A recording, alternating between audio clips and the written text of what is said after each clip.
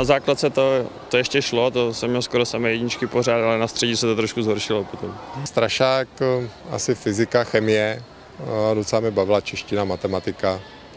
Eh, tady ty předměty mi vůbec nevadily. Když jsem přijel školu, tak jsem taky nadšení a každým rokem to nadšení asi trošku ubývalo, ale teď na to vzpomínám jenom v dobrém.